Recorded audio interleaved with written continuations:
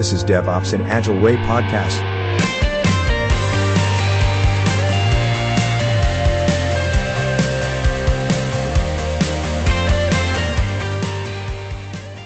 Hello again, everyone.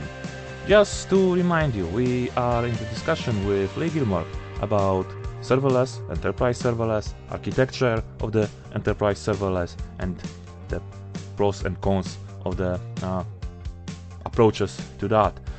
So, last episode we ended with the question about vendor lock, and now, Lee, it's time to answer. I think that this cliffhanger was quite interesting. So, Lee, please, the stage is yours. Yeah, so for me, vendor lock-in's a good thing. Um, oh, you, you are the first person who mentioned that in the way. yeah, the, the reason for that is obviously you want to get the best out of the serverless services that you can use. So I don't know, you might be um, looking at saga patterns and, and orchestration. So you could try and do that yourself and have that encompassed in a container. And obviously that's cloud agnostic, but obviously the speed in which you can use step functions and the scalability around it and the cost around it and things like that. That is obviously just one aspect with step functions, but you can extrapolate that out um, obviously across many, many different services. Um, so yeah, I, I, think go all in on on a particular vendor. The, the one thing in the back of my mind I do worry about a little bit, having done a lot of projects over the years of taking monolithic applications and porting them to um, kind of cloud native is probably the use of things like step functions in the future. And the reason I say this is across that enterprise, if you've got things like your business logic within ASL, um, within step function language, and you know across a myriad of different services, so it could be a an API gateway with an upload to S3, and an S3 event triggers a Lambda that Lambda puts something in DynamoDB and you have a stream and that then has a Lambda with an event off the back of it. That there is quite difficult to look at, you know, over a, an enterprise. That's just one small part of it. So everything at some point will become legacy and we'll be moving on to something else. It, it's that evolutionary architecture again.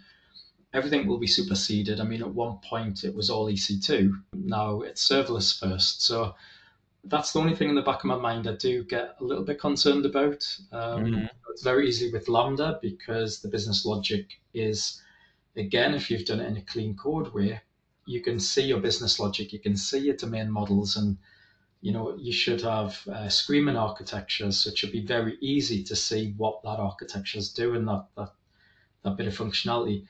I, I do worry about in the future as people go all in on serverless and we do have this potential of Lambda pinball. What does that mean for moving off these services in the future? And and we just mm-hmm. don't know. We're just we're not there yet. Yeah. I guess time will tell on that one. But you know that sometimes we refer to to to vendor lock as a new kind of you know threat we we see, but it's not not true. You mentioned that, right? So so even like 20, 30 years ago, if you were on I don't know, some Unix machine, you were vendor locked somehow, right? Yeah, On different la- layer, but you were there, right? So again, if you used Intel CPUs in your virtual environment, again, the problem is that we with the EMD type of instructions, you cannot go, right? So so are you vendor locked? Yes, you are. right. So, so it, it's nothing new, nothing terrible, really, right? So we shouldn't be afraid of vendor lock. You mentioned a couple of times if you approach properly to the code, if you approach properly with the proper principles clean code clean architecture. If you if you could explain to us a little bit what is the main principle of this? Why why it becomes more and maybe yeah more and more important in our world? Like micro nano services we will see what will be next. Yeah for me the the core principle and again it's that sliding scale of complexity. So i talk sometimes about lightweight clean code and that's that's probably as light as i would personally go which is just ensuring that your as i call them primary adapters they have no notion of business logic whatsoever they are essentially take input from one AWS service. It could be, like I say, API gateway, app sync. It could be an S3 upload event. It could be anything essentially. And then obviously you've got what I call a use case, which is your main business logic for that particular use case, which is usually mapped one to one to, you know, it could be an API endpoint, you know, it could be a post request or something like that. But it, essentially, it's a it's a bit of functionality. It, it's a use case, and that should be completely agnostic of any technology. It shouldn't know how the input has actually come in and where it's come from. It just confines to a particular uh, interface or type. And then in the same way, we have secondary adapters. So that use case will talk to a secondary adapter to maybe raise an event or persist some data. But again, it's all about persistence ignorance. It doesn't need to know where that's going, where it's getting persisted. So even just having that very basic kind of abstraction between these three main components, that can help massively because that allows you to swap out, say, EventBridge for MSK or DynamoDB for serverless Aurora, and the same with the front end. But essentially, your, your business logic, what your business does, its business value, that isn't actually changing. And again, if it does, you can change that middle part, that use case, and you don't have to worry about the things around it you know, and it's got added benefits of easier to unit test as, as well and, and easier to to actually work with day in day out instead of having these monolithic handlers that I see a lot of in the industry. Yeah, that, that's true and very good and uh, short but complex answer why we should do this in that particular way, especially if we talk about bigger and bigger and bigger applications because uh, the complexity even we add one service but the complexity of the business aspects around grows exponentially right? So it's not like a one-to-one relation right? So this is uh, definitely much more to think of. So when we talk about serverless the thing is at least in my opinion that like in the universe if you gain something you need to lose something and vice versa. So with let's say better alignment to our business needs because we can really really pinpoint our needs and our expectations and our, and the behavior what we want to achieve we lose some aspects uh, especially related to monitoring right? And then we have another beautiful buzzword called observability.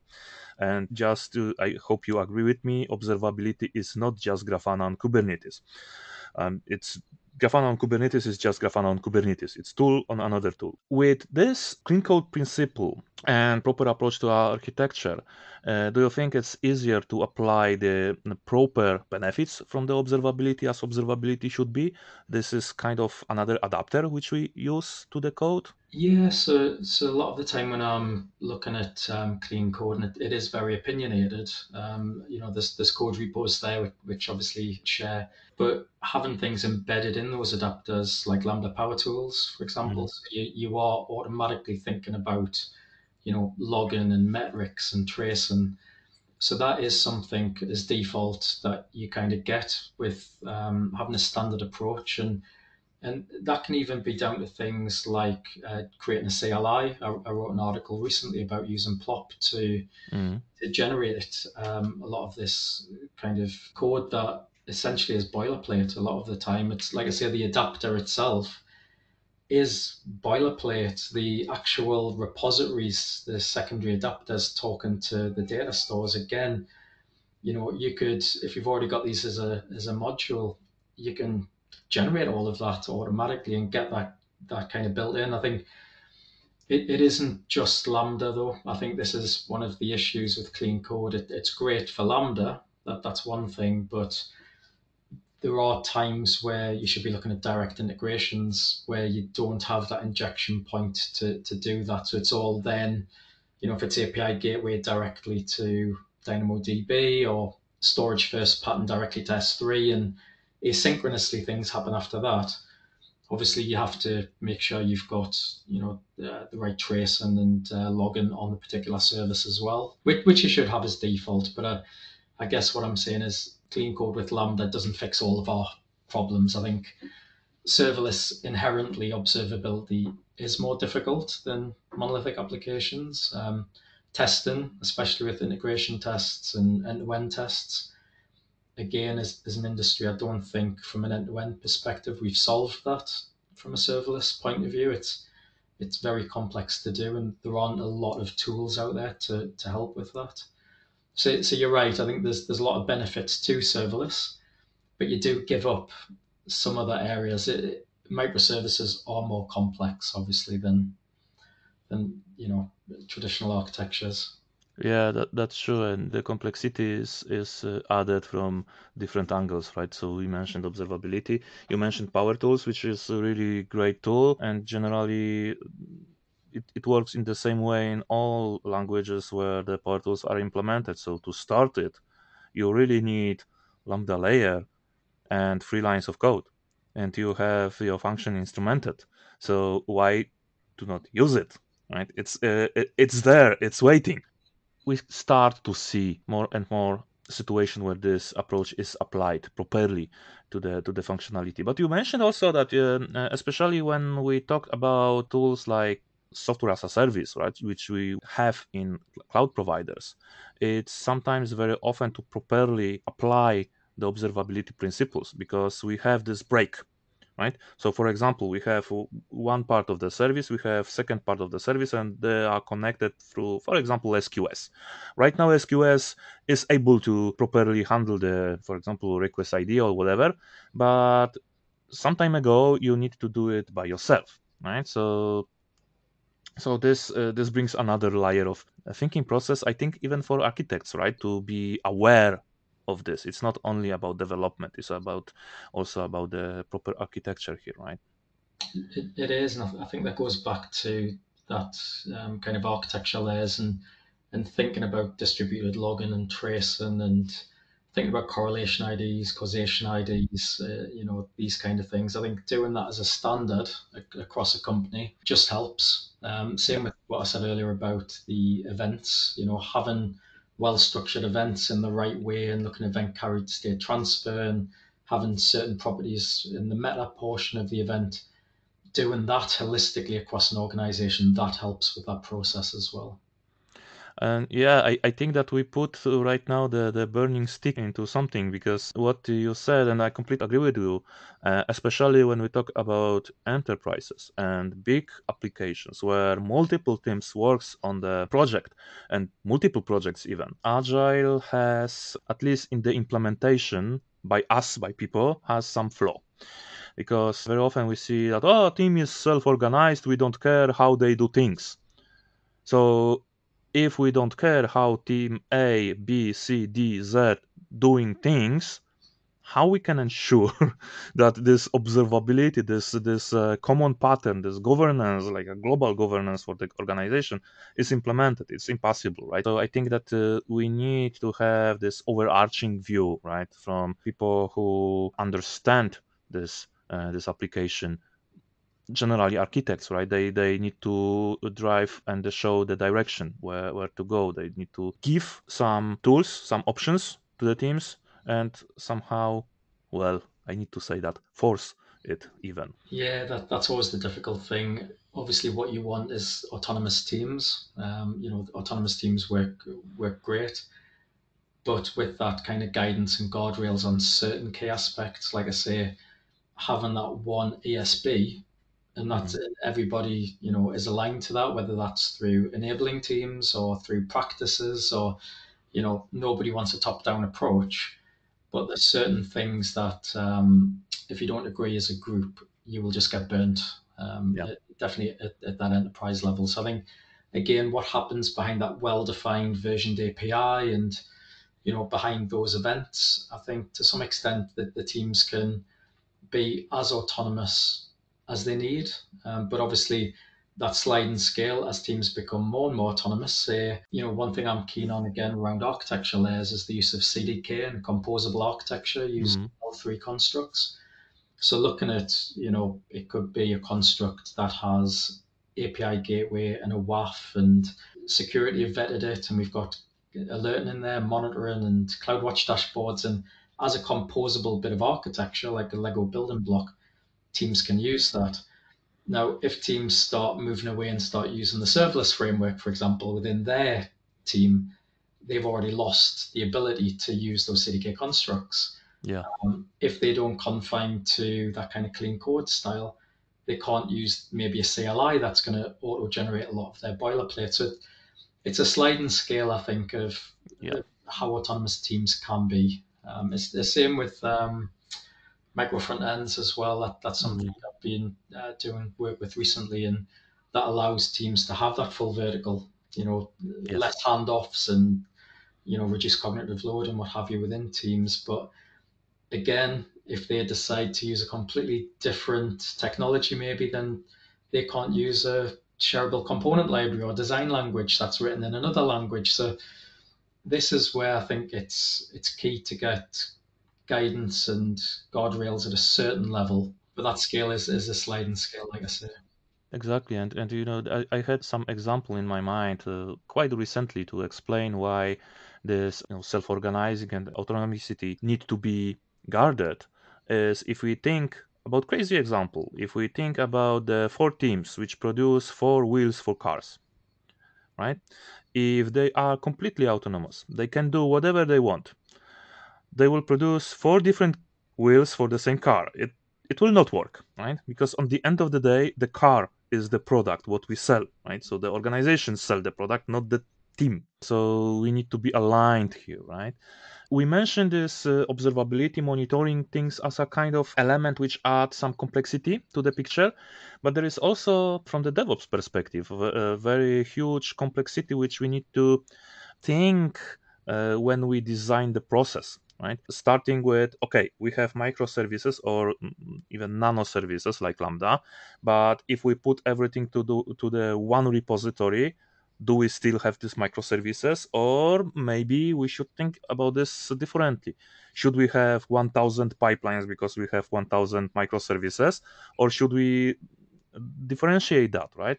And i believe even if it doesn't sound on the first sight like a architect role especially enterprise architect role right because uh, this kind of person works on different layer but in my opinion in fact this is exactly the responsibility of this person especially in this kind of detached au- autonomous services we build with microservices with uh, with serverless right I, I i hope you agree with me here I do. Yeah, I think it's um, it, it's working out. Again, it goes down to DDD and um, architecture layers and what what size is that bounded context and how big is that microservice and and obviously then looking at does it make sense to have it if it's deployed as one composable unit is Mm. that one repo but but again kind of going back to to that um, kind of shared learning ac- across an organization and the guidance you know if you can't have standard pipelines because pipelines are fairly complex you know what what do you have in the pipeline? Do you have acceptance tests and unit tests integration synthetic canaries maybe on, on aws or synthetics? Um, do you do fuzz testing load testing? Yeah. What are the gates that you go through? So again if you can look at platform engineering and, and again that kind of goes back to team topologies and to Mhm. architecture layers on that, that kind of bottom layer. That can reduce that cognitive load on teams you know build it once and allow teams to use these standard pipelines Mhm. that, that's that's something i'm quite passionate about as well Me too, because this this a very interesting and ve- very complex topic, right? And doing it right is not that easy, right? And from your experience, what was the biggest, uh, what is the biggest challenge here for you uh, with this aspect of of enterprise uh, architecture and enterprise serverless, with the the whole process, right? It, it, it's interesting at an enterprise level um, because a lot of it is patterns and um, looking at guardrails and looking at rather than teams working in silos, trying to get teams to think about the bigger picture, which I work with fantastic teams, so that, that's not a problem. You know, I'm, I'm very lucky, but it's again thinking um, not siloed into particular services within a domain. It's thinking about things like developer experience and um, you know landing zones, for example. We don't want every single serverless team spinning up VPCs and the networking back maybe to on-premise through transit gateway maybe, and that is heavy lifting to me, undifferentiated heavy lifting. How can you get um, that in that kind of platform layer? So abstracting the complexities away where it's not needed. So a lot of what I do day to day is looking at, at a higher level. I think you know, like how do we do distributed logging across the estate? You know, the EDA strategy, like I said, around EventBridge and the use of that. So it, it is complex, but it is very hands on. It's not a traditional enterprise architect role as such. It's maybe less about working with a business and more about working with the teams and around technology and, like I say, patterns and, and processes you want to say that the architect is not the person who just drawing things but he need also to do things. That's uh, and and that is good because uh, then you you know what you ask teams to build right? This is i, I believe this is very important from the uh, architect perspective and also team perspective to build this proper report and credibility in the eyes of the team of, for the architect right? Because this is uh, this is very specific role uh, very client slash business oriented but from other hand also impacting uh, very deeply the the technicalities on the teams. Quite hard role. It, it is, and, and it's not about ivory tower either. It's about you know a, a lot of these great ideas come bottom up through the organization as well, and I think that's where it's really key to have things like architectural working groups, for example, where anybody can bring an idea to to the the kind of front door of the organization. It's it's about working with teams and not um, telling teams exactly how to do things and, and what to do.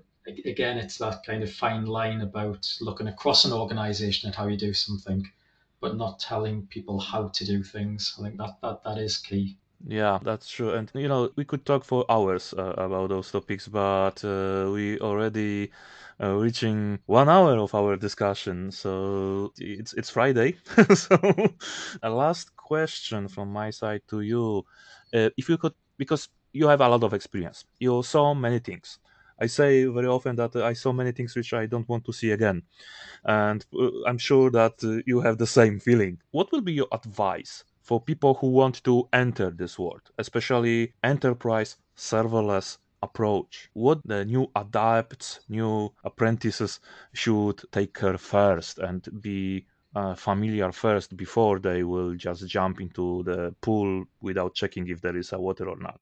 Um, for me, it's just build, build, build. It's it's you know whether it's building services and learning through failures and what actually works. I think I think that's a key thing. I think in our industry, there's a lot of people trying to get as many certifications as they can, but not actually physically building things because it's only when you fail and um, and actually get big wins that you actually understand it. So I think for me, it's just continuing to to actually build large services and, and bigger services, and obviously keeping an eye on the industry. That's why the community builders um, is great, you know, because you get updates regularly on new services and, you know, jump straight in and just create a repo and, and actually play with that service. And, and then once you've done that, share those learnings with other people. I think that that's a key aspect of, of that role as well, you know, sharing what works, sharing ideas and, and POCs. I think, I think that's key.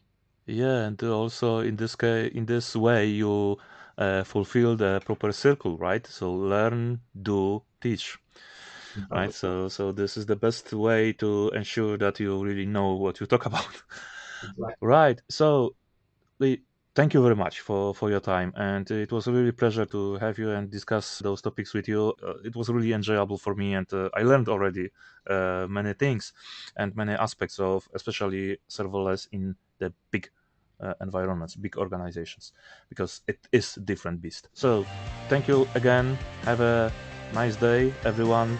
And yeah, Lee Gilmore was our guest. Thank you very much again, and see you soon. Thank you very much. Great to you. Thank you for listening to this episode of DevOps in Agile Way podcast with your host, Pavel Pivosh. Subscribe, comment, and do not forget to check our next episodes. Stay tuned. Stay safe. Stay curious.